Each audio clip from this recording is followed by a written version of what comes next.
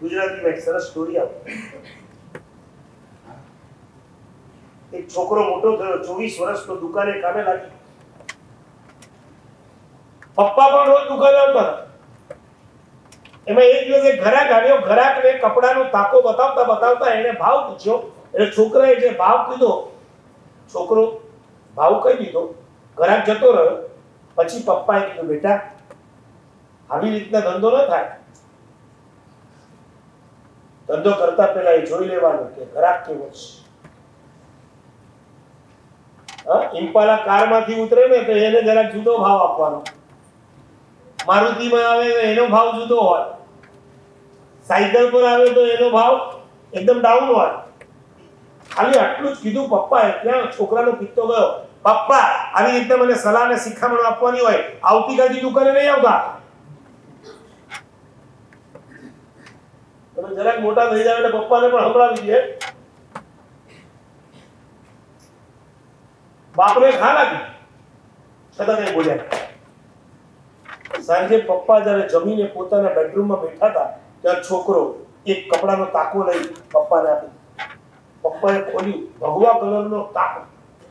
સમજાણું ભાઈ નહીં સમજાણું? ભગવો કલર. ભાજપનો કલર.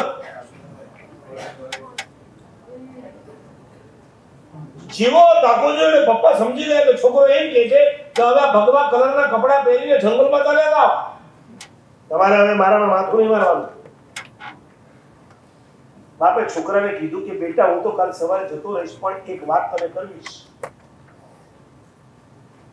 બાપ અને દીકરો બંને દરવાજો બંધ કરીને બેઠા ત્યારે બાપે કબાટમાંથી એક નાનકડી ડબ્બી કાઢી અને એ ડબ્બી છોકરાને આપીને કીધું, બેટા, આને સાચવશે હલાવી છોકરાને લાગ્યું કે અંદર ડાયમંડ લાગે છે.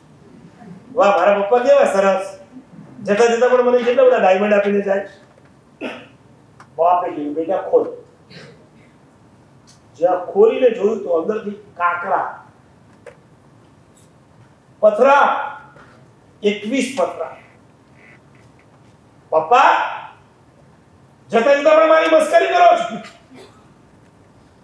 બેટા આને સમજ. આની પાછળ તારા બાપનું વાત્સલ્ય છે. વાત્સલ્ય? કઈ સમજાય એવું બોલો. તું નાનો હતો, ચાર વર્ષનો.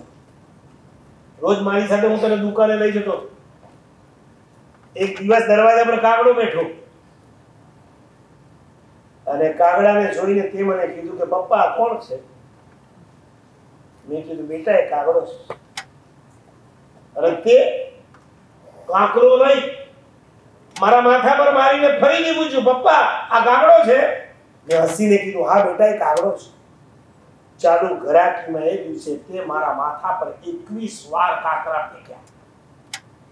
દરેક વખતે તું મારી મસ્કરી કરતો રહ્યો, પપ્પા કાગડો પપ્પા કાગડો અને હું દરેક વખતે હસીને કહેતો રહ્યો, હા બેટા કાગડો ધારક તો હું તને બે લાફા મારી શકતો હતો.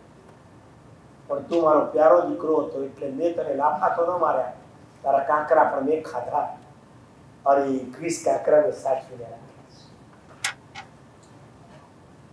બેટા, આજે ખાલી મેં તને એક જ વાર કીધું કે જરાક ધંધામાં સમજી વિચારીને ભાવ કેતો જા, નહીં તો લાખના સાડા બાર હજાર થશે.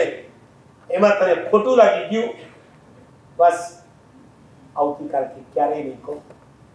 જ્યાં છોકરાને ખબર પડી કે મેં મારા બાપને એકવીસ વાર કાંકરા માર્યા અને છતાંય મારા બાબા મારા બાપે મને ક્યારે યાદ પણ નથી કરાવ્યું. ઉલટાના સાચવીને રાખ્યા છે છોકરો બાપના પગમાં પડી ગયો, ધ્રુસકે ધ્રુસકે. રડીને કીધું, પપ્પા, તમારે ક્યાંય નથી જવાનું.